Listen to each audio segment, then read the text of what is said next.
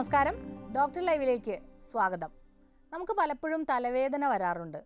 യഥാർത്ഥത്തിൽ തലവേദന എപ്പോഴെങ്കിലും ഒരിക്കലൊക്കെ വരാത്ത ആളുകളില്ല എന്ന് തന്നെ പറയാൻ പറ്റും.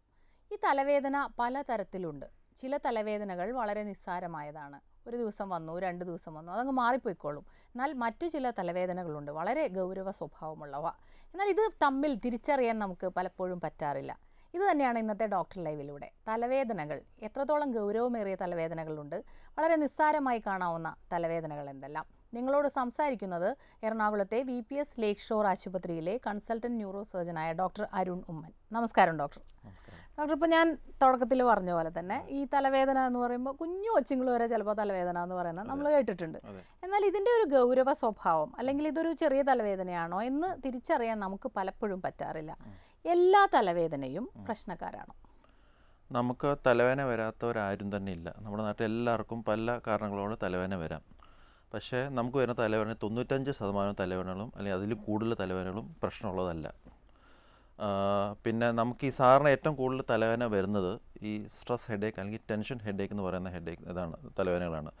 അതായത് നമുക്ക് ഈ എന്തെങ്കിലും നമ്മുടെ ബോഡിയിലെ സ്ട്രെസ് ലെവൽ കൂടുമ്പം ഉണ്ടാകുന്ന ഹെഡേക്സ്. ഫോർ എക്സാമ്പിൾ നമ്മൾ ടെൻഷൻ അടിക്കുമ്പം. നമ്മുടെ ജോലി കഠിനമായ ജോലി കഴിഞ്ഞ് വരുമ്പം അല്ലെങ്കിൽ ഉറക്ക അടയ്ക്കുമ്പം അല്ലെങ്കിൽ മറ്റേതെങ്കിലും അസുഖങ്ങൾ പനി സാധാരണ വൈറൽ ഫീവറോ അല്ലെങ്കിൽ ജലദോഷമോ വരുമ്പോൾ ഉണ്ടാകുന്ന തലവേദനകൾ.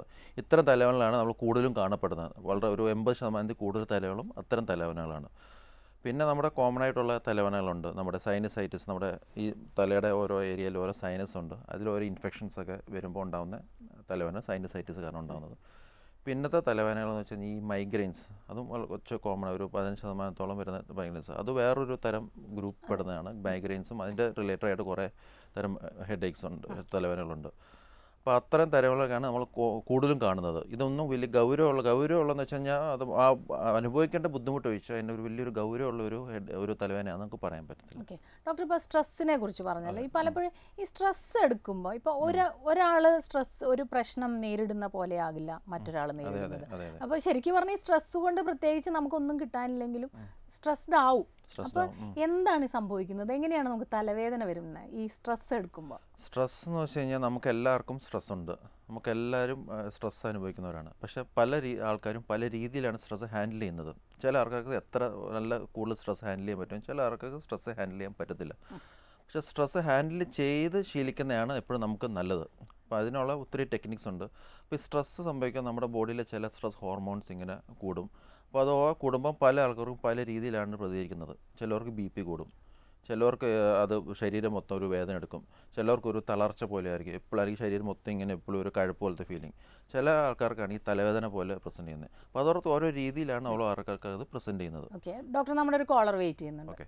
ഹലോ? ആ മാഡം ഞാൻ തൃശ്ശൂരിൽ നിന്നാണ് ആ ചോദിച്ചോളൂ. സാർ എനിക്ക് ഈ തലയുടെ വലതുവശത്തെ ആ. ബാക്കിലാണ് അസഹനീയമായ വേദന വരും ചില സമയത്ത്. ആ വേദന ഇങ്ങനെ ഉറങ്ങാൻ പറ്റില്ല രാത്രിയിൽ കണ്ണിലേക്ക് ഇങ്ങനെ തുളച്ചിങ്ങനെ എന്തോ വലിഞ്ഞു മുറുകണ പോലെയാണ്. അപ്പൊ തീ ഇപ്പൊ തീരെ സഹിക്കാൻ പറ്റാണ്ടാവുമ്പോ ഇപ്പൊ രണ്ടു മാസമായിട്ട് ഞാൻ ഗുളിക തലവേദനയുടെ ഗുളിക മേടിച്ച് കഴിക്കുക അപ്പൊ പിറ്റേ ദിവസം ആവുമ്പോ സുഖവും. പക്ഷെ നമ്മൾ ഭയങ്കര ഇങ്ങനെ ക്ഷീണം പോലെ തളർന്ന ആ ഒരു അവസ്ഥ പോലെയാണ് ഇത് എത്ര കാലമായിട്ടുണ്ട് തലവേദന? തലവേദന ഇപ്പൊ ഒരു അഞ്ചു പത്ത് വർഷമൊക്കെ ആയിട്ടുണ്ട് തലവേദന. ഈ എത്ര കാലം ഒരേപോലെ ഒരേ രീതിയിലുള്ള തലവേദനയാണോ? ഒരേ രീതിയിലുള്ള തലവേദന തുടങ്ങിയിട്ട് ഇപ്പൊ ഒരു വർഷത്തിന്റെ അടുത്താവണുള്ളൂ. ഓക്കെ. ഇങ്ങനെ കൂടി എന്ന് വെച്ചാൽ ഇന്റൻസിറ്റി കൂടി കൂടി വരുവാണോ? ആ കൂടി കൂടി അതിങ്ങനെ ഈ വലത് വശത്ത് ബാക്ക് സൈഡിലാണ് വരുന്നത്. നമ്മുടെ ചെവിയിൽ ഇങ്ങനെ തൊട്ടിപ്പുറത്തായിട്ടേ. അതിങ്ങനെ കേറി കേറി ഇങ്ങനെ തലയോട്ടി ഇങ്ങനെ ഈ തലനിറയിലേക്ക് ഇങ്ങനെ എടുക്കണ പോലെ അസഹനീയമായ വേദനയായിട്ട് മാറും പിന്നെ. ഓക്കെ. അപ്പോൾ ഇത് ടിപ്പിക്കലി നമ്മുടെ ഒരു ടിപ്പിക്കൽ മൈഗ്രെയിൻ ഹെഡ് ഏക്സ് പോലെയൊക്കെ പറയാം. പക്ഷേ ഒരു കുറച്ച് സെർവൈക്കൽ സ്പോൺലൈറ്റിസ് കാണും. അതിന്റെ പെയിനും പിന്നെ അതിന്റെ സ്ട്രെസ് കാരണം ഉണ്ടാകുന്ന ഒരു മൈഗ്രെയിൻ പോലെ നമുക്ക് പറയാം. അപ്പോൾ അതിന് കറക്റ്റായിട്ട് ചികിത്സിക്ക ചെയ്യാവുന്നതേ ഉള്ളൂ. അത് ഇപ്പോൾ ഇവർക്ക് ഇങ്ങനെ ഈ ലേഡിക്ക് സ്ഥിരം ഇങ്ങനെ വരുന്നുണ്ട്. നമുക്ക് ഒരു ഒരു പ്രൊഫലാക്സിസ് ആയിട്ട് എന്ന് വെച്ചാൽ ഒരു ത്രീ ടു സിക്സ് മന്ത്സ് മൂന്ന് തൊട്ട് ആറ് മാസം വരെ സ്ഥിരമായിട്ട് ഗുളിക കഴിച്ച് കഴിഞ്ഞാൽ നല്ല ആശ്വാസം കിട്ടാൻ സാധ്യതയുണ്ട്. ഓക്കെ പലരും ഈ ഇത്രയും വർഷങ്ങളൊക്കെ ഇത് കൊണ്ടു നടക്കുന്നു എന്നുള്ളതാണ് അല്ലെ?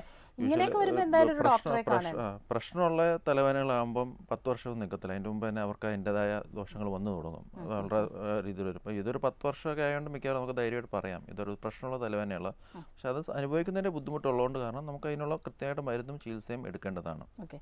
സ്ട്രെസ് വരുമ്പോഴുള്ള തലവേദനയെ കുറിച്ച് നമ്മൾ പറഞ്ഞു. അപ്പോൾ ഇത് ഈ സ്ട്രെസ് വന്നു ഒന്ന് ഉറങ്ങിക്കഴിയുമ്പോൾ ഇത് മാറുന്നവരുണ്ട്.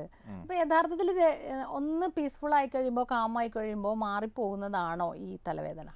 ഈ സ്ട്രെസ് ഹെഡേക്ക് അല്ലെങ്കിൽ ടെൻഷൻ ഹെഡേക്കിന് നമ്മൾ ഏറ്റവും പറഞ്ഞ പോലെ തന്നെ ഏറ്റവും ഉപകാരപ്പെടുന്നത് നമുക്ക് ഉറക്കമാണ് റെസ്റ്റ് എടുക്കുക എന്നുള്ളതാണ്. അല്ലെങ്കിൽ റിലാക്സേഷൻ ടെക്നിക്സ് അത് പലതും ഉണ്ട്. നമുക്ക് മ്യൂസിക് കേൾക്കാം നമുക്കൊരു കുറച്ച് നേരം എവിടെയെങ്കിലും കണ്ണടിച്ച് കിടന്നാൽ മതി. അല്ലെങ്കിൽ സിനിമ കാണുക അങ്ങനെ എന്തെങ്കിലുമൊക്കെ ചെയ്യുക. അതാണ് കോമൺ ആയിട്ട് നമ്മൾ ചെയ്യേണ്ടത്. പിന്നെ നമ്മളൊരു നല്ലൊരു കുളി ഒരു നോർമൽ ഒരു കുളിയൊക്കെ എടുത്ത് ചെയ്ത് കഴിഞ്ഞാൽ കുളിച്ചാൽ നല്ല ഒരു റിലീഫ് കിട്ടും. പിന്നെ ഈ സ്ട്രെസ് ഹെഡേക്സ് നമുക്ക് ചിലപ്പോൾ ഒരു ചെറിയൊരു ടെക്നിക്ക് ചെയ്ത് നമ്മുടെ ടെമ്പിൾ ഏരിയയിലൊന്ന് ചെറുതായിട്ടൊന്ന് തിരുമ്മി കഴിഞ്ഞാൽ ചില ആൾക്കാർക്ക് നല്ല റിലീഫ് കിട്ടും. പിന്നെ സ്ട്രെസ്സ് ഹാൻഡിൽ ചെയ്യാനുള്ള ചില ടെക്നിക്സ് നമ്മൾ സ്ഥിരമായിട്ട് ചെയ്യണം. ഫോർ എക്സാമ്പിൾ യോഗ മെഡിറ്റേഷൻ പിന്നെ സ്ഥിരമായിട്ട് വ്യായാമങ്ങൾ എക്സസൈസ് ചെയ്യുന്ന ആൾക്കാർക്ക് സ്ട്രെസ് ലെവൽ ഭയങ്കര കുറവായിരിക്കും സ്ട്രെസ് ഹാൻഡിൽ ചെയ്യാനുള്ള കപ്പാസിറ്റി കൂടും. അപ്പോൾ അങ്ങനെയുള്ളവർക്ക് ഈ സ്ട്രെസ് ഹെഡേക്സ് വരാനുള്ള ചാൻസ് കുറവാണ് അപ്പോൾ ഇത്ര ശീലങ്ങൾ കുറച്ച് ഡെവലപ്പ് ചെയ്യുന്നത് നല്ലതാണ്. പിന്നെ നമ്മുടെ സ്ട്രെസ്സ് ഈ തല സ്ട്രെസ് ഹെഡേക്ക് വരാനുള്ള ഒരു കാരണം എന്ന് വെച്ചാൽ നമ്മൾ ഈ ജോലിയൊക്കെ ചെയ്ത് ഇങ്ങനെ കണ്ടിന്യൂ ജോലി ചെയ്യുമ്പോൾ നമ്മൾ വെള്ളം കുടിക്കാതെയും അങ്ങനത്തെ ഒരു പ്രശ്നം. ഡീഹൈഡ്രേറ്റ് അപ്പോൾ നമ്മുടെ ശരീരത്തിലെ വെള്ളത്തിന്റെ അംശം ജലാംശം ഭയങ്കരമായിട്ട് കുറയും. ഡീഹൈഡ്രേഷൻ വരും. അങ്ങനെയുള്ളവർക്ക് നന്നായിട്ട് ഹെഡേക്ക് വരാനുള്ള ചാൻസുകളുണ്ട് എപ്പോഴും നമ്മൾ എപ്പോഴും നല്ല ബോഡി ഹൈഡ്രേറ്റഡ് ആയിരിക്കണം. അതുപോലെ നല്ല പച്ചക്കറികളും ഫ്രൂട്ട്സൊക്കെ നന്നായിട്ട് കഴിച്ച് ശീലിക്കുന്നത് നല്ലതാണ്. ഫോർ ഈ എസ്പെഷ്യലി കുക്കുംബർ പിന്നെ വാട്ടർ മെലൺ ഓറഞ്ച് ഇതൊക്കെ വളരെ നല്ലതാണ്. നമ്മുടെ ഒരു ജലാംശം ജലാംശം ബോഡിയുടെ ജലാംശം ഉണ്ടെങ്കിൽ തന്നെ ഈ സ്ട്രെസ് ഹെഡേക്സ് നമുക്ക് ഒരു പരിധി വരെ നമുക്ക് കൺട്രോൾ ചെയ്യാൻ പറ്റും. ഡോക്ടർ ഒരു കോളർ വെയിറ്റ് ഹലോ ഹലോ? നമസ്കാരം. ഡോക്ടറോട് സംസാരിച്ചോളൂ. ആ നമസ്കാരം. സംസാരിച്ചോളൂ. ഹലോ ഡോക്ടർ എനിക്ക് പാരജിറ്റിലാണ് ആ. പാരജിറ്റിൽ ഞാൻ വന്നിട്ട് പറയാം. അവർക്ക് ഞാൻ ഇത് സെമിറ്റിൽ എം ഡി കുറിച്ച് തന്നിരുന്നു. ആ. അത് കഴിച്ചിട്ട് കുറവില്ലാത്തതുകൊണ്ട് പിന്നെ വാക്സിൻ സിക്സ്റ്റി എന്ന ഗുളിയാക്കി ആ. അത് കഴിക്കുമ്പോ കുറെ കുറയുന്നുണ്ട് പക്ഷെ കഴിക്കുമ്പോൾ മാത്രം കുറഞ്ഞു വീണ്ടും വരുന്നു. പിന്നെ വലതിന്റെ അടുത്ത് കിടന്ന് ഇത് കറിയേറ്റി കിടക്കുമ്പോൾ കൂടുതൽ എത്ര കാലമായിട്ടുണ്ടെന്ന് പറഞ്ഞേ? അത് ഒരു വർഷത്തിനടുത്തായി. ഒരു വർഷമായി. എന്ത് ചെയ്യുമ്പോഴേ തലവേന തല ചുറ്റിൽ വരുന്നത് ഈ പെട്ടെന്ന് എഴുന്നേൽക്കുമ്പോഴാണോ അതോ എന്തെങ്കിലും തലയുടെ പൊസിഷൻ മാറുമ്പോഴാണോ? പെട്ടെന്ന് എഴുന്നേൽക്കുമ്പോൾ എഴുന്നേൽക്കുമ്പോൾ ആ.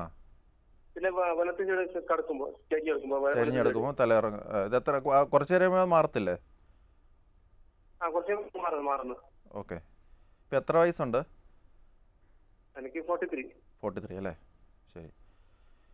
ഇത് ടിപ്പിക്കൽ ഇയർ ബാലൻസ് കാരണം ഉണ്ടാകുന്ന പ്രോബ്ലം ആണ്. പ്രോബ്ലമാണ് അത് ഈ പൊസിഷൻ മാറുമ്പോൾ പെട്ടെന്ന് ഒരു പൊസിഷൻ മാറി കുറച്ച് കഴിയുമ്പം അത് നമ്മുടെ ഇയറിന്റെ കുറച്ച് ഈ ബാലൻസിന്റെ കുറച്ച് ഡിജനറേഷൻ വരുമ്പം ഉണ്ടാകുന്ന ഒരു പ്രോബ്ലമാണ് അപ്പോൾ അതിന് മരുന്നിന് മരുന്നൊരു ടെമ്പററി റിലീഫാണ് കൂടുതലും നമ്മൾ എക്സസൈസ് ചെയ്ത് അത് മാറ്റിയെടുക്കുക എന്നുള്ളത് അപ്പോൾ കുറേ എക്സസൈസ് ചെയ്യേണ്ടി വരും. അത്ര എളുപ്പമല്ല. ഈ തലയൂറ്റിൽ മാറാനായിട്ട്. ഈ ഇയർ ബാലൻസിന്റെ തലയൂറ്റിൽ മാറാനായിട്ട്. കുറച്ച് എക്സസൈസ് ഒക്കെ ചെയ്ത് അത് ശരിയാക്കി എടുക്കാവുന്നേ ഉള്ളൂ ഈ തലവേദനയും തലകറക്കവും തമ്മിൽ ബന്ധമുണ്ടോ? തലവേദന വന്നിട്ട് തലകറങ്ങുന്ന ഒരവസ്ഥ ഉണ്ടാകാറുണ്ടോ? അതുകൊണ്ടല്ലോ അത് പല അസുഖങ്ങൾക്കും വരാം. ഫോർ എക്സാ നമ്മുടെ ഈ ബ്ലഡ് പ്രഷർ കുറയുന്നു. നമ്മുടെ പ്രഷർ കുറയുമ്പോൾ നമ്മുടെ ആ ബ്രെയിനിലേക്കുള്ള ബ്ലഡ് ബ്ലഡ് സപ്ലൈ കുറയുമ്പോൾ ഇങ്ങനെ തലചുറ്റിൽ വരാം. അതിന്റെ തലചുറ്റിൽ കൂടെ. അതിന്റെ കൂടെ തലവേദന വരാം. അതുപോലെ പല അസുഖങ്ങൾക്കും തലചുറ്റിൽ കൂടെ ഈ പനി അങ്ങനെ എന്തെങ്കിലും അസുഖങ്ങളുള്ളപ്പം തലചുറ്റിന്റെ കൂടെ തന്നെ തലവേദനയും വരാം. തലചുറ്റിന്റെ കൂടെ തലവേദന വരുന്നത് വെച്ചാൽ നമ്മൾ ഗൗരവമായിട്ട് എടുക്കണം. അത് നിസ്സാരമായിട്ട് കാണൽ അതെന്തെങ്കിലും പ്രത്യേകിച്ച് പ്രശ്നങ്ങൾ ഉണ്ടായിട്ടായിരിക്കാം അത് സാറിന് ഒരു തലവേദനയായിട്ട് നമ്മൾ കാണാറില്ല. അപ്പം എന്തെങ്കിലും ഒരു വൈദ്യസഹായം തേടേണ്ടത് നല്ലതാണ്. ഡോക്ടർ നമുക്ക് ഒരു ഇടവേളയ്ക്ക് ശേഷം തിരികെ വരാം. ഡോക്ടർ ലൈവിൽ ഒരു ഇടവേള. ഡോക്ടർ ലൈവ് തുടരുന്നു. ഒരു കോളർ വെയിറ്റ് ചെയ്യുന്നുണ്ട് ഡോക്ടർ. ഹലോ? ഹലോ മാഡം ഞാൻ മാന്നാർന്ന് വിളിക്കുവാണേ. ആ ചോദിച്ചോളൂ. എനിക്ക് ഈ വർഷങ്ങളായിട്ട് തുമ്മലുണ്ട്. ആ. ഓക്കെ. വർഷങ്ങളായിട്ട് തുമ്മലുണ്ട്. ഇപ്പൊ കുറച്ച് ദിവസങ്ങളായിട്ട് എനിക്ക് ഭയങ്കരമായിട്ടുള്ള തലവേദനയാണ്. കൂടുതൽ ഈ വൈകിട്ട് ഉള്ള സമയങ്ങളിൽ ആ തലവേദന കൂടുതലായിട്ട് അനുഭവപ്പെടുന്നത് ഇതിനെന്ത് ഇതിന് ചെയ്യണം? തലവേദന എന്ത് തരം തലവേദനയാണ്? ഈ തുമ്മി തുമ്മിക്കൊണ്ടുള്ള തലവേദനയാണോ? തുമ്മലുണ്ട്. എനിക്ക് തുമ്മൽ വർഷങ്ങളായിട്ടുണ്ട്. ഒരുപാട് മരുന്ന് കഴിച്ചിട്ടൊന്നും ഒരു മാറ്റമില്ല. ആ. ഈ അലർജി ആണെന്നാ ഡോക്ടർ പറഞ്ഞത്. ഉണ്ടോ ഈ തലവേദനയുടെ കൂടെ? ഈ തലവേദന എങ്ങനെയാണ് എത്ര നേരം നിൽക്കും? ഒരു വൈകുന്നേരം തുടങ്ങി കഴിഞ്ഞാൽ അങ്ങ് ഒത്തിരി രാത്രി അങ്ങ് പോവോ? അതോ കുറച്ച് കഴിയുമ്പോ? ഞാൻ വൈകിട്ട് ഒരു നാല് മണി തൊട്ട് എട്ട് മണി വരെ കുറച്ച് കുട്ടികൾ പഠിപ്പിക്കുന്നുണ്ട്. ഓക്കെ. അപ്പൊ ഈ പഠിപ്പിക്കുന്ന ഒരു അഞ്ചഞ്ചരയൊക്കെ ആറ് ആറു മണിയൊക്കെ ആകുമ്പോഴത്തേന് തുടങ്ങിയാൽ ഒരു എട്ട് ഒമ്പത് മണി വരെ അങ്ങ് തലവേദനയാണ്. കണ്ടിന്യൂസ് ആയിട്ട് അങ്ങ് വേദന ഒരു വിങ്ങൽ പോലെയാണോ?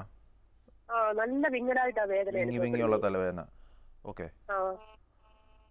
ഇത് ടിപ്പിക്കൽ ഒരു മൈഗ്രെയിൻ ഹെഡേക്ക് ആണ്. ഇവർക്ക് കൂടുതൽ ചിലപ്പോൾ തുമ്മലുള്ളതുകൊണ്ട് ചിലപ്പോൾ സൈനസൈറ്റിസ് കണ്ടേക്കാം. അപ്പം ഇത് രണ്ടും സൈനസൈറ്റിസ് ഉള്ളവർക്ക് മൈഗ്രെയിൻ ടെൻഡൻസി ഉണ്ടെങ്കിൽ കൂടുതൽ കൂടുതൽ വരാൻ ചാൻസ് കൂടുതലാണ്. അപ്പോൾ സൈനസൈറ്റിസ് ഉണ്ടെങ്കിൽ അതിന്റെ ചികിത്സ കറക്റ്റായിട്ട് എടുക്കണം. അതിന്റെ കൂടെ മൈഗ്രെയിൻ മൈഗ്രെയിൻ ഉള്ള ചികിത്സ ഇപ്പോൾ ബേസിക്കലി ഇവരുടെ ഒരു എന്ന് വെച്ചാൽ കുറച്ച് ബേസിക് സ്ട്രെസ് ഇൻഡ്യൂസ്ഡ് ആണ്. അപ്പോൾ ഒരു സ്ട്രെസ് കുറയ്ക്കാനുള്ള ഒരു കുറച്ച് ടെക്നിക്സ് ഒക്കെ ചെയ്യുവാണെങ്കിൽ ഒത്തിരി ഉപകാരപ്പെടും. പിന്നെ അതിന്റെ ഉള്ള ട്രീറ്റ്മെന്റ് ഇപ്പം ഇവർക്ക് സ്ഥിരം വരുന്നുണ്ടെന്നാണ് അവർ പറയുന്നത്. ഡെയിലി ഓൾമോസ്റ്റ് ഡെയിലി വരുന്നുണ്ടെന്നാണ് അവർ പറയുന്നത്. അപ്പോൾ അങ്ങനെയാണെങ്കിൽ അത് സ്ഥിരം ഒരു പ്രൊഫലാക്റ്റ് ഒരു ത്രീ ടു സിക്സ് മന്ത്സ് വരെ കറക്റ്റായിട്ട് അത് ആദ്യം ഒരു ചെക്കപ്പ് നടത്തുക. എന്നിട്ട് കുഴപ്പമില്ലെങ്കിൽ ത്രീ ടു സിക്സ് മന്ത്സ് വരെ ഗുളിക കഴിക്കുക. അതിന്റെ ശരിക്കും നല്ലൊരു റിലീഫ് കിട്ടാൻ സാധ്യതയുണ്ട്. ഓക്കെ ഇപ്പം മൈഗ്രെയിൻ ആണ് ഇപ്പോൾ പലരും വിളിക്കുമ്പോൾ തന്നെ അല്ലേ? അപ്പോൾ യഥാർത്ഥത്തിൽ എന്താണ് മൈഗ്രെയിൻ മൈഗ്രെയിൻ എന്ന് വെച്ച് കഴിഞ്ഞാൽ തലവേദനകൾ ഒരു ഒരു പത്ത് അല്ലെങ്കിൽ ഒരു പതിനഞ്ച് ശതമാനം തലവേദനകളും മൈഗ്രെയിനാണ് അവരുടെ അതിന്റെ അതൊരു ആക്ച്വലി ഒരു പ്രശ്നമുള്ളൊരു തലവേദനയല്ല. പക്ഷേ അതിന്റെ അനുഭവിക്കുന്നവർക്ക് അത് ഭയങ്കര വളരെ ഗുരുതരമായ തലവേദനയാണ്. വളരെയധികം ബുദ്ധിമുട്ടുണ്ടാക്കുന്ന ഒരു സംഭവമാണ്. അത് സാറിന് ടെൻഷൻ ഹെഡേക്കിൽ വ്യത്യസ്തമായിട്ടെന്ന് വെച്ചാൽ അതൊരു തരം വിങ്ങൽ പോലത്തെ ഇപ്പോൾ എല്ലാവരോടും ചോദിച്ചു കഴിഞ്ഞാൽ അവർ പറഞ്ഞു വിങ്ങൽ പോലെയാണ്. എന്ന് വെച്ചാൽ നമ്മൾ നമ്മുടെ ഹാർട്ടിന്റെ പൾസേഷൻ പോലെയാണ് ഇങ്ങനെ ഒരു വിങ്ങൽ പോലത്തെ ഒരു തലവേദനയാണ് സംഭവിക്കുന്നത്. പിന്നെ ഉള്ളത് വെച്ചാൽ അതൊരു മിക്കവാറും മെജോറിറ്റി കേസിൽ കൂടുതലും ഒരു ഒരു സൈഡിൽ മാത്രമേ കാണത്തുള്ളൂ. ഒരു സൈഡിലുള്ള തലവേദനയായിരിക്കും. പിന്നെ അതിങ്ങനെ കൂടി കൂടി കൂടി അതിങ്ങനെ മണിക്കൂറോളം ചിലപ്പോൾ നിൽക്കാം. ചിലപ്പോൾ ദിവസങ്ങളോ രണ്ട് മൂന്ന് ദിവസം വരെ നീണ്ടു നിൽക്കാം. വളരെ കഠിനമായി വരും. അവർക്ക് വേറെ ഒന്നും ചെയ്യാൻ പറ്റത്തില്ല. അങ്ങനത്തെ ഒരു തലവേദനയായിരിക്കാം. പിന്നെ അതിന്റെ കൂടെ ചിലപ്പോൾ ഛർദ്ദിക്കാൻ ഒരു ടെൻഡൻസി ചില ആൾക്കാർ കാണാം. അത് മാത്രമല്ല ഛർദ്ദിക്കാൻ ടെൻഡൻസി മാത്രമല്ല ഛർദ്ദിച്ച് കഴിയുമ്പോൾ ഒരു ആശ്വാസം കിട്ടുന്നേ വരും അപ്പോൾ ഇതൊക്കെയാണ് ഒരു ടിപ്പിക്കൽ മൈഗ്രെയിന്റെ ഒരു ലക്ഷണങ്ങൾ ഒരു ലക്ഷണങ്ങൾ. പല തര പല ഗ്രൂപ്പ് ഓഫ് മൈഗ്രെയിൻസ് ഉണ്ട്. അപ്പോൾ ഇതാണ് ഒരു കോമൺ ലക്ഷണം. പിന്നെ ചില മൈഗ്രെയിനിൽ ഒരു പത്ത് പതിനഞ്ച് മൈഗ്രെയിനിൽ തന്നെ ഒരു പത്തോ പതിനഞ്ചോ ശതമാനത്തിൽ ഒരു ഓറ എന്ന് പറഞ്ഞ ഒരു സംഭവം ഉണ്ട്. എന്ന് വെച്ചാൽ ഒരു വാണിംഗ് സിഗ്നൽ പോലെ നമുക്ക് ചിലവർക്ക് വരാം. ഈ പെട്ടെന്ന് ഈ കണ്ണിൽ ഈ ഈ മിന്നൽ പോലെ ലൈറ്റ് അടിക്കുക അല്ലെങ്കിൽ എന്തെങ്കിലും പ്രത്യേക മണം വരിക അല്ലെങ്കിൽ എന്തെങ്കിലും കയ്യോ കാലോ പെട്ടെന്ന് ഒരു പെരുപ്പ് വരിക. അത് അത് കഴിഞ്ഞിട്ട് പിന്നെ തലവന് തലവേദന വരിക. അപ്പം ഇങ്ങനത്തെ ഈ ഓറ ഉള്ള ചില മൈഗ്രെയിൻസിന് ഓറ വരും ചില ആൾക്കാർക്ക്. അപ്പം അങ്ങനെ അപ്പോൾ നമുക്ക് അറിയാൻ പറ്റും ഈ മൈഗ്രെയിൻ വരാൻ വരാൻ പോകുന്നുണ്ട്. പോകുന്നുണ്ടെന്നുള്ളത് ഒരു വാണി സിഗ്നൽ പോലെ അറിയാൻ പറ്റും. ഒരു കോൾ ഉണ്ട് ഡോക്ടർ ഹലോ ഹലോ ഞാൻ കണ്ണൂരിൽ നിന്നാണ് വിളിക്കുന്നത്. നമസ്കാരം. ചോദിച്ചോളൂ ഡോക്ടറോട്. എന്റെ ഭർത്താവിന് ഒരു പത്തിരുപത്തഞ്ച് വർഷമെങ്കിലും ആയിട്ടുണ്ട്. ഒരാഴ്ചയിൽ ഒരു രണ്ടു മൂന്ന് പ്രാവശ്യം ഇങ്ങനെ ഭയങ്കരമായിട്ട് തലവേദന കട്ട് കഴിക്കുമെന്നാ പറയുന്നത്. ഓക്കെ. പിന്നെ ഒരു പണി എടുക്കാൻ പറ്റുകയല്ല തല ഇങ്ങനെ ഒന്നും ചെയ്യാനും പറ്റില്ല. പോയി മരുന്ന് മേടിക്കാൻ പറഞ്ഞിട്ട് മരുന്നിനും പോവുകയല്ല പിന്നെ. ഭയങ്കര കട്ടുകൾ. പുള്ളിക്ക് ഒന്നും ചെയ്യാൻ പറ്റിയല്ല പിന്നെ. പിന്നെ. എപ്പോഴാ അത് മാറിപ്പോകുന്നത് അവസാനം എപ്പോഴാ മാറുന്നത് കുറെ സമയം എടുക്കോ മരുന്ന് രണ്ട് രണ്ട് മൂന്ന് ദിവസമൊക്കെ വേണ്ടി വരും. അതിന്റെ വേദനയും തലയുടെ മരവിപ്പും മാറാൻ വേണ്ടിട്ട് മരപ്പ് പോലാന്നാ പറയുന്നത് പോലെ. ഓക്കെ. തല പെരിച്ചിരിക്കുന്ന പോലെ തോന്നും. ആ. എ, പുള്ളിക്കാരനിപ്പോൾ എത്ര വയസ്സുണ്ട്? അമ്പത്തിരണ്ട് വയസ്സ്. അമ്പത്തിരണ്ട് വയസ്സ്. ഇതും ടിപ്പിക്കൽ ഒരു മൈഗ്രൈന്റെ പ്രസന്റേഷൻ പോലെ. രണ്ട് മൂന്ന് ദിവസമായിട്ട് കണ്ടില്ല എത്ര വർഷങ്ങളായിട്ട് പുള്ളിക്കാരൻ അനുഭവിച്ചു. ഒരേപോലത്തെ വേദന വർഷങ്ങളായിട്ട് അനുഭവിച്ചുകൊണ്ടിരിക്കുന്നു അപ്പോൾ ഇതും ഒരു തരം മൈഗ്രെയിൻ ആണ്. അപ്പം അതിനും മൈഗ്രെയിൻ കറക്റ്റായിട്ട് നമ്മൾ ചികിത്സ ചെയ്യുക. പിന്നെ നമ്മൾ ആദ്യം നമ്മൾ പറഞ്ഞു എക്സസൈസ് പറഞ്ഞു. പിന്നെ വേറൊരു കാര്യം ചെയ്യണമെന്ന് വെച്ചാൽ നമ്മുടെ കാഴ്ച ശക്തി നമ്മൾ നമ്മളെപ്പോഴും കറക്റ്റായിട്ട് ചെയ്യണം. കാരണം ഈ മൈഗ്രെയിൻ ടെൻഡൻസി ഉള്ളവർക്ക് ചെറിയൊരു കാഴ്ചയിൽ ഒരു എസ്പെഷ്യലി കുട്ടികൾക്ക് അവർ പറയും പഠിച്ചുകൊണ്ടിരിക്കുന്നതുകൊണ്ട് ഭയങ്കര തലവേദന എന്നൊക്കെ പറയും. അപ്പോൾ ഈ ചെറിയ കാഴ്ചയിൽ വ്യത്യാസം വന്നാൽ ആ സ്ട്രെസ് കാരണം ചിലപ്പോൾ ഉണ്ട്. അപ്പം കാഴ്ച കണ്ണിന്റെ കാഴ്ച നമ്മളെപ്പോഴും ചെക്ക് ചെയ്യണം. പിന്നെ നമ്മുടെ ഈ സ്ട്രെസ് റിലീവിങ് ഇത് ടെക്നിക്സ് ഒക്കെ. നമ്മൾ ശരിക്കും ശീലിപ്പിക്കുക. പിന്നെ ചില ഫുഡ് ഒക്കെ നമുക്ക് അഡ്വൈസ് ആണ്. ഫോർ എക്സാമ്പിൾ നമ്മുടെ ചില മിനറൽസും ചില വൈറ്റമിൻസിലൊക്കെ ഡെഫിഷ്യൻസിയിലൊക്കെ ചിലപ്പോൾ ഇങ്ങനത്തെ മൈഗ്രെയിൻസ് ഹെഡ് ഈ ഇതൊക്കെ വരാൻ സാധ്യത കൂടുതലാണ്. ഏറ്റവും പ്രധാനപ്പെട്ടത് മഗ്നീഷ്യം പിന്നെ ചിലതരം vitamins vitamin B B two എന്ന് വെച്ചാൽ റൈബോഫ്ലാവിൻ എന്ന് പറയും. അപ്പോൾ ഇതുള്ള കൂടുതൽ ഭക്ഷണങ്ങൾ കഴിക്കുന്നത് നല്ലതായിരിക്കും. ഫോർ എക്സാമ്പിൾ ഇങ്ങനെ ആൽമണ്ട് പിന്നെ നമ്മുടെ കശുവണ്ടി പിന്നെ ഏറ്റവും നല്ല ഇതുള്ളത് ഇത് പഴവർഗങ്ങൾ വളരെ നല്ലതാണ്. പിന്നെ ചോക്ലേറ്റ്സ് നല്ലതാണ്. ഈ തലവേന അങ്ങനത്തെ ഇതൊക്കെ നല്ലതാണ്. പിന്നെ കിഴങ്ങ് ഇത് ചിലപ്പോൾ ഇഞ്ചി ഇങ്ങനത്തെ ഓരോ സാധനങ്ങളൊക്കെ മഗ്നീഷ്യം ഇങ്ങനത്തെ വിറ്റാമിൻസ് ഒക്കെ കൂടുതലായിരിക്കും. അപ്പം ആദ്യം പറഞ്ഞു ഹൈഡ്രേഷൻ പറഞ്ഞു. അതിന്റെ പോലെ തന്നെ ചില ഫുഡ് ഐറ്റംസ് സ്ഥിരമായിട്ട് കഴിച്ചാൽ ഇതൊരു പരിധി വരെ നമുക്ക് ഉപകാരപ്പെടും. ഇപ്പോൾ ഡോക്ടർ ഈ മൈഗ്രെയിൻ എന്ന് പറയുമ്പോൾ എല്ലാവരും ഇങ്ങനെ കണ്ടിന്യൂസ് ആയിട്ട് ഇത് അനുഭവിക്കണം അപ്പോൾ ഇത് ക്ലിനിക്കൽ ഡയഗ്നോസിസ് മാത്രമേ ഉള്ളൂ ഇതിന്? വേറെ രീതിയിലുള്ള ക്ലിനിക്കൽ ഡയഗ്നോസിസ് ചെയ്യാം. പിന്നെ ചിലർക്ക് ഒരു സംശയം തോന്നും. എനിക്ക് എന്തെങ്കിലും ഉണ്ടോ എന്നുള്ളത്. അപ്പം അങ്ങനെ നമുക്ക് സംശയം തീർക്കാൻ വേണ്ടി നമുക്ക് സ്കാൻ എടുത്ത് നോക്കാം. മറ്റെന്തെങ്കിലും അസുഖം മൈഗ്രെയിനിൽ സ്കാൻ നോർമൽ ആയിരിക്കും. കാരണം ഇതൊന്നും ഒരു ഒരു ഒരു അനാറ്റമിക്കൽ പ്രോബ്ലം ഇല്ല ബ്രെയിനിൽ ഒരു ഫങ്ഷണൽ ഫങ്ഷൻ എന്ന് വെച്ചാൽ നമ്മുടെ പ്രവർത്തനത്തിലുള്ളതാണ്. അതിന്റെ പല കാരണങ്ങൾ നമ്മൾ ഇതര കൃത്യം പറയാൻ പറ്റില്ല എന്തുകൊണ്ടാണ് മൈഗ്രൻ ഉണ്ടാകുന്നത്. പല കാരണങ്ങൾ പറയണം. ഒന്ന് നമ്മുടെ ജനറ്റിക് നമ്മുടെ ശരീര പ്രകൃതം കാരണം ഉണ്ടാകുന്നതാണ് ജനറ്റിക് അതുകൊണ്ട് നമ്മുടെ ഫാമിലിയിൽ നമ്മുടെ പേരൻസിനൊക്കെ മൈഗ്രെയിൻ ടെൻഡൻസി ഉണ്ടെങ്കിൽ നമുക്കും വരാം. നമ്മുടെ ബ്രദേഴ്സിനുണ്ടെങ്കിൽ നമുക്ക് വരാൻ ചാൻസില്ല അപ്പോൾ അങ്ങനെ ജനറ്റിക് അതുകൊണ്ട് ഒരു ജനറ്റിക് ഒരു ബേസിസ് ഇതിന് പറയുന്നുണ്ട്. പിന്നെ എൻവയറമെന്റിന്റെ ഒരു ഇൻഫ്ലുവൻസ് എന്ന് വെച്ചാൽ നമ്മുടെ താമസിക്കുന്ന ചുറ്റുവട്ടത്തിന്റെ പ്രത്യേകതകളുണ്ട്. അത് പല കാരണം ചിലപ്പോൾ ഈ സ്ഥിരമായിട്ട് ഇങ്ങനെ ഉള്ള മണം അങ്ങനെ എന്തെങ്കിലും ഉള്ള ആയിരിക്കാം. അല്ലെങ്കിൽ എന്തെങ്കിലും ഇറിട്ടിന്റെ എന്തെങ്കിലും ഒക്കെ ഉണ്ടായിരിക്കാം. അപ്പോൾ എൻവയറമെന്റ് ഫാക്ടേഴ്സ് നമ്മൾ പറയുന്നുണ്ട്. ഓക്കെ. പിന്നെ ബ്രെയിനിലെ ചില കെമിക്കൽസിന്റെ പ്രത്യേകതകളുണ്ട്. വരാം. ചില അതിന്റെ ഏറ്റവും പ്രധാനപ്പെട്ടെന്ന് പറഞ്ഞാൽ ഒരു സെറട്ടോണിൻ. സെറട്ടോണിൻ എന്ന് പറഞ്ഞൊരു കെമിക്കലാണ്. അപ്പോൾ അത് കുറയുമ്പം നമുക്ക് മൈഗ്രെയിൻ കൂടാൻ ചാൻസ് കൂടുതലുണ്ട്. സെറട്ടോൺ അതുകൊണ്ട് ഈ സെറട്ടോണിൻ എന്ന് പറഞ്ഞു കഴിഞ്ഞാൽ നമുക്ക് ഈ പഴങ്ങളിലൊക്കെ ഭയങ്കര കൂടുതലായിട്ടുണ്ട്. അതുകൊണ്ട് ഈ പഴ അതുകൊണ്ടാണ് പഴം കഴിക്കാൻ പഴങ്ങൾ പറയുന്നത് കഴിക്കണമെന്ന് പറയുന്നത്. ഡോക്ടർ നമുക്ക് മറ്റൊരു ഇടവേളയ്ക്ക് ശേഷം തുടരാം. ഡോക്ടർ ലൈവിൽ ഒരു ഇടവേള കൂടി.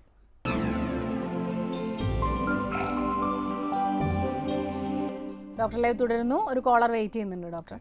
ഹലോ. ഹലോ. നമസ്കാരം. ഡോക്ടറോട് സംസാരിച്ചോളൂ. നമസ്കാരം. ആ. ചോദിച്ചോളൂ. ഹലോ ഡോക്ടർ നമസ്കാരം. നമസ്കാരം പറഞ്ഞോ ചോദിച്ചോ. ഡോക്ടർ പിന്നെ എനിക്ക് കുറെ നാൾ കൊണ്ട് ഭയങ്കരമായ തലവേദനയാണ്. അടുത്തുള്ള ഒരു ഹോസ്പിറ്റലിൽ കൊണ്ട് കാണിച്ചു.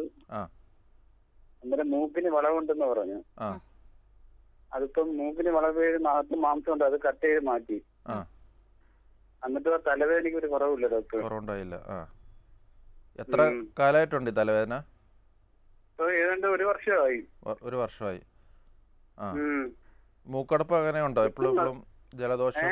ജലദോഷം മൂക്കടപ്പ് അങ്ങനെ ജലദോഷമൊന്നുമില്ല. അങ്ങനെയൊന്നുമില്ല. മൂക്കിൽ കൂടെ കഫമെന്ന് വരുന്നത് ഡോക്ടർ ഈ തലവേദന വന്നതിന് ശേഷമേ. എന്ത് തരം തലവേദനയാണ്? ഒരു ഒരു തലയിൽ ഇങ്ങനെ ഒരു എപ്പോഴും ഒരു വിങ്ങൽ പോലെ അങ്ങനത്തെ തലവേദനയാണോ? അല്ല മൊത്തത്തിൽ ആ. കുച്ചു കുത്തി വലിയ കണക്കുള്ള തലവേദന പിടിച്ച് പിടിച്ച് പറിക്കുന്ന പോലത്തെ ഒരു തലവേദന അല്ലേ? ആ. ഓക്കെ. അത് എത്ര നേരം നിൽക്കും ഏകദേശം? അതിന് ഡോക്ടർ ഇരുപത്തിയേഴ് മണിക്കൂർ നിൽക്കും ഒരു കുറവുമില്ല. ഒറ്റ ഇരുപത്തിനാല് മണിക്കൂർ നിൽക്കും അല്ലേ. ഇത് ഇതിന്റെ ഇത് കൂടിക്കൂടി വരുന്നുണ്ടോ? ഇതിന്റെ ഈ വേദന തലവേദന കൂടിക്കൂടി വരുന്നുണ്ടോ? ആ ആ ഒറ്റ കൂടത്തില്ല ഡോക്ടർ. രാത്രിയാകുമ്പോഴും തലവേദന ഇച്ചിരി ചെറിയ ഒരു കൂടുതലുണ്ട് ഉറക്കം കിട്ടുന്നതുമില്ല അങ്ങനെ ഉറക്കം കിട്ടുന്നില്ല അല്ലേ? ആ.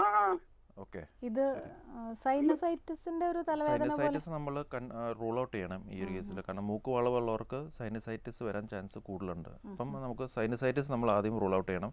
പക്ഷേ പുള്ളിക്കാരന്റെ ഇത് കേട്ടിട്ട് അതും ഒരു തരം സ്ട്രെസ് ഹെഡേക്ക് അല്ലെങ്കിൽ മൈഗ്രെയിൻ തന്നെയാണ്. ഒരു വിഷയ സൈക്കിളാണ് പുള്ളിക്കാരൻ ഉറക്കുന്നില്ല ഉറക്കം അടച്ചിക്കുന്ന വെച്ചാൽ വളരെ ഒരു പ്രോബ്ലമാണ്. ഉറക്കം അടിച്ചു കഴിഞ്ഞാൽ നമ്മുടെ സ്ട്രെസ് ലെവൽ ഭയങ്കരമായിട്ട് കൂടും. അപ്പോൾ ഉറക്കം കിട്ടുന്നില്ല. പിന്നെ തലവേദന തുടർന്നു. തലവേദന കാരണം പിന്നെയും മറ്റ് പ്രശ്നങ്ങൾ വരുന്നു. അങ്ങനെ അങ്ങനെ അങ്ങനെ പോകുന്നു. അപ്പോൾ അതിനുള്ള ശരിക്കും സ്ട്രെസ്സ് കുറയ്ക്കുകയോ അങ്ങനത്തെ കാര്യങ്ങളൊക്കെ ചെയ്യുക. പിന്നെ ഇത് ചികിത്സ കറക്റ്റായിട്ട് ഒന്ന് കാണിച്ചെടുക്കുന്നതാണ് നല്ലത്. കോംപ്ലിക്കേറ്റഡ് ആയിട്ടുള്ള തലവേദന വരുന്ന സിറ്റുവേഷൻസ് ഇപ്പോൾ നമ്മൾ പറഞ്ഞു ഇപ്പോൾ പറഞ്ഞ സംസാരം എല്ലാവരും തൊണ്ണൂറ്റഞ്ച് ശതമാനം ഇങ്ങനത്തെ തലവേദനകളാണ്. പിന്നെ കോംപ്ലിക്കേറ്റഡ് തലവേദനകളെന്ന് വെച്ച് കഴിഞ്ഞാൽ നമ്മൾ ഏറ്റവും ഭയക്കുന്നത് ബ്രെയിൻ ട്യൂമേഴ്സ് വരാം.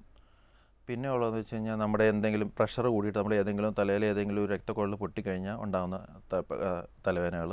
പിന്നെ എന്തെങ്കിലും അന്യൂറിസം റപ്ചർ എന്ന് വെച്ചാൽ നമ്മുടെ രക്തക്കോളിൽ എന്തെങ്കിലും ഒരു വീക്ക്നെസ് എന്തെങ്കിലും ഒരു ഉണ്ടെങ്കിൽ ആ ഒരു കമള പോലെ അത് വീർത്തിട്ട് അത് പൊട്ടുന്ന ഒരു സംഭവം ഉണ്ടാകും പിന്നെ തലയിൽ എന്തെങ്കിലും പഴുപ്പ് കിട്ടുന്ന അങ്ങനെ എന്തെങ്കിലും തലവേന ഉണ്ടാകും അല്ലെങ്കിൽ ഞരമ്പിൽ എന്തെങ്കിലും ഇൻഫ്ലമേഷൻ വരും. ഈ ഞരമ്പിൽ നീര് വന്നിട്ട് അങ്ങനെ വരുന്ന തലവേനകൾ ഇതൊക്കെയാണ് സാധാരണ ഗൗരവമുള്ള തലവേനകൾ അപ്പോൾ ഇതിനൊക്കെ അതിന്റെതായ ഒരു പ്രത്യേകതയുണ്ട് ഈ തലവേനകൾ വരുന്നതിന്. ഫോർ എക്സാമ്പിൾ നമുക്കിപ്പോൾ സാധാരണ നമ്മുടെ സാധാരണ എല്ലാവരും പറയുന്നത് സ്ഥിരമായിട്ട് വരുന്ന ഒരു തലവേദനയിൽ വ്യത്യസ്തമായിട്ട് ചില ആൾക്കാർക്ക് തലവേദന ഒന്നും അധികമൊന്നും ഇല്ല പെട്ടെന്നൊരു തലവേദന വരുന്നു. അതും വളരെ സഡൻ ആയിട്ട് ഒരു തലവേദന വരുന്നു. അത് വളരെ ഗൗരവമായിട്ട് എടുക്കണം. പിന്നെ ഉള്ള തലവേദന വെച്ചാൽ നമുക്ക് ഈ ബ്രെയിൻ ട്യൂമറിന്റെ തലവേദനയ്ക്ക് ഒരു പ്രത്യേകതയാണ്. അതെന്ന് വെച്ച് കഴിഞ്ഞാൽ അത് ഈ നമ്മൾ ഈ രാവിലെ എഴുന്നേൽക്കുമ്പം തലവേദനയോട് കൂടി ചാടി എഴുന്നേക്കും എന്നിട്ട് അത് താ നല്ല കഠിനമായ തലവേദന എഴുക്കും പെട്ടെന്ന് അങ്ങ് ഛർദ്ദിക്കും. ആ ഛർദ്ദിക്കും ഒരു പ്രത്യേകത ഉണ്ട് ഒരു പ്രൊജക്റ്റൈൽ വോമിറ്റിംഗ് ഓക്കാനിച്ചുള്ള വോമിറ്റിംഗ് അല്ല പ്രൊജക്റ്റൈൽ വോമിറ്റിംഗ് ആ ഛർദ്ദിച്ച് കഴിയുമ്പോൾ കുറച്ച് ആശ്വാസം കിട്ടും. ഇതൊരു ഇതെല്ലാ ബ്രെയിൻ ട്യൂമേഴ്സിനും ഉള്ളതെന്നാണ് പക്ഷേ ഇതുണ്ടെങ്കിൽ ഇതൊരു ഒരു ക്ലാസിക്കൽ പ്രസന്റേഷനാണ് അതൊരു ബ്രെയിൻ ട്യൂമേഴ്സ് വരുന്നുള്ളത്. പിന്നെ ചില സീരിയസ് ആയിട്ടുണ്ടാകുന്ന വെച്ച് കഴിഞ്ഞാൽ നമ്മൾ എന്തെങ്കിലും എക്സ് നല്ല കഠിന എക്സസൈസ് ചെയ്യുക അല്ലെങ്കിൽ നല്ല ചുമ ചുമച്ചതിന് ശേഷം പെട്ടെന്ന് ഒരു തലവേദന വരുവാണെങ്കിൽ അത് നമ്മൾ ഗൗരവമായിട്ട് എടുക്കണം. ഡോക്ടറെ എല്ലാ തലവേദനകളെയും നിസ്സാരമായി കരുതുന്നവരോടും എല്ലാ തലവേദനയും വലിയ പ്രശ്നമാണെന്ന് കരുതുന്നവരോടും ഒരു ചെറിയ ഒരു ഇതെന്താണ് പറയാനുള്ള ഒരു സന്ദേശം എന്നുള്ള നിലയ്ക്ക്?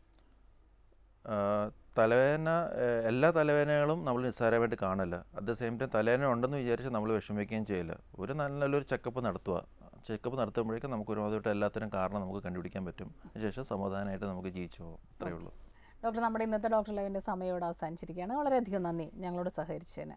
ഡോക്ടർ ലൈവിന്റെ ഈ അധ്യായം ഇവിടെ അവസാനിക്കുന്നു. നമസ്കാരം.